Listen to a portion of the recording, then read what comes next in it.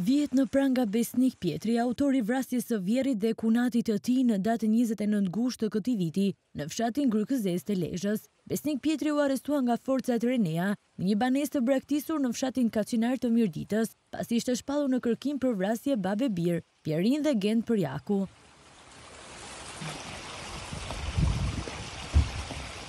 Besnik Pjetri ekzekutoi babain dhe vëllain e ish-bashkëshortes së tij, Brenda banesës së tyre, Pjerin dhe Gent Përjaku ishin kthyer nga Italia ku banonin prej vitesh dhe do të merrnin pjesë në një gëzim familjar. Por mbrëmjen e njëzet e nëntë gushtit, Besnik Pjetri shkoi në banesën e ish-babait dhe vëllait të bashkëshortes dhe hapi zjarr me breshëri automatiku, duke u marrë jetën.